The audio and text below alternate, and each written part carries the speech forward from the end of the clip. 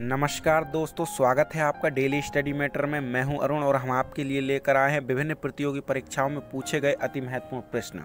चलिए शुरू करते हैं। पहला प्रश्न, कि रणजीत सागर बाँध किस नदी पर स्थित है? तो उत्तर है राबी नदी पर। अगला प्रश्न है, कि भारत की प्रथम महिला राज्यपाल कौन थी और किस राज्य की थी? तो उत्तर है सरोजनी नायडू, उत्तर प्रदेश की। अगला प्रश्न है, कि दुनिया का सबसे बड़ा द्वीप कौन सा है? तो उत्तर है ग्रीनलैंड। अगला प्रश्न है कि श्रीलंका का सबसे बड़ा शहर कौन सा है? तो उत्तर है कोलंबो। अगला प्रश्न है कि ब्रिक्स संगठन में कितने देश हैं? तो उत्तर है पाँच देश। अगला प्रश्न है कि बृहदेश्वर मंदिर किस राज्य में स्थित है? तो उत्तर है तमिलनाडु में। अगला प्रश्न है कि मनुष्य में गुणसूत्रों की संख्या कितनी है? तो उत्तर है टू एन बराबर छियालीस। अगला प्रश्न है कि गारो की पहाड़ी किस राज्य में है? तो उत्तर है मेघालय में। अगला प्रश्न है कि किस माध्यम में प्रकाश की चाल सर्वाधिक होती है? तो उत्तर है निर्वात में। अगला प्रश्न है कि ध्वनि की तरंग किसमें सबसे ज़्यादा होती है? तो उत्तर है ठोस में। अगला प्रश्न है कि दूरदृष्टि दोष को दूर करने के लिए कौन सा लेंस उपयोग किया जाता है? तो उत्तर है उत्तल लेंस। अगला प्रश्न है कि बूलर झील भारत के किस राज्य में है? तो उत्तर है जम्मू कश्मीर में। अगला प्रश्न है कि थर्मोस्टेट का प्रयोजन क्या है? तो उत्तर है तापमान को स्थिर रखना। अगला प्रश्न है कि मौर्य साम्राज्य की स्थापना किसने की थी? तो उत्तर है चंद्रगुप्त मौर्य ने। अगला प्रश्न है कि भारत में पुनर्जागरण का जनक किसे कहा जाता है? तो उत्तर है राजा राम मोहन राय को। अगला प्रश्न है कि भारत का अंतिम वायसराय कौन था? तो उत्तर है लॉर्ड माउंटबेटन। अगला प्रश्न है कि संविधान सभा के झंडा समिति के अध्यक्ष कौन थे? तो उत्तर है जे बी कृपलानी। अगला प्रश्न है कि जलियावाला बाग हत्याकांड के समय भारत का गवर्नर कौन था? तो उत्तर है लॉर्ड चैम्सफोर्ड अगला प्रश्न है कि शेर ए पंजाब किसका उपनाम है? तो उत्तर है लाला लाजपत राय का। अगला प्रश्न है कि सुंदर वन डेल्टा कौन सी नदी बनाती है? तो उत्तर है गंगा ब्रह्मपुत्र। अगला प्रश्न है कि बुझे हुए चूने का रासायनिक सूत्र क्या है? तो उत्तर है कैल्शियम हाइड्रोक्साइड।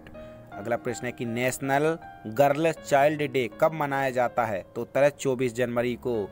अगला प्रश्न है कि चित्रंजन दास को और किस अन्य नाम से पूरा देश पुकारता है? तो उत्तर है देश बंधु के नाम से।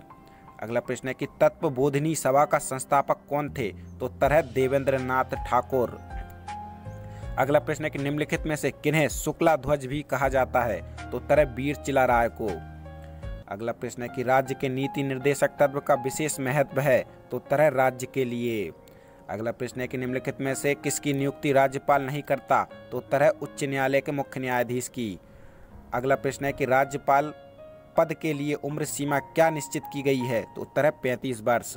अगला प्रश्न है कि अरुणाचल प्रदेश में कौन सी मुख्य क्षेत्रीय भाषा है तो उत्तर है अंग्रेज़ी।